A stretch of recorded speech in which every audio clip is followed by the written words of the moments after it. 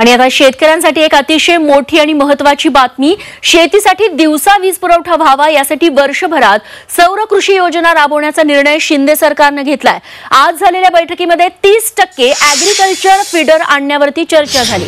कृषी पंपासाठी ज्यांनी अर्ज केलाय त्या सर्वांना पुढच्या सहा महिन्यात सोलर पंप देऊन ती योजना मुख्यमंत्र्यांना सादर केली जाईल अशी माहिती उपमुख्यमंत्री देवेंद्र फडणवीस यांनी दिली आहे. उपसा सिंचन योजना सोलरवरती कशी राबवता येईल यावरही विचार सुरू असल्याचं फडणवीसांनी सांगितलेलं आहे.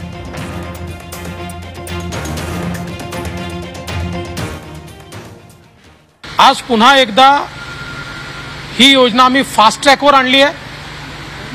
आणि यावर्षी म्हणजे पुढच्या एका वर्षामध्ये किमान तीस टक्के ॲग्रिकल्चर फिडर हे सौर ऊर्जेवर कशी आणता येतील जेणेकरून शेतकऱ्यांना दिवसा वीज आपल्याला देता येईल या संदर्भात आज आम्ही निर्णय केला आहे.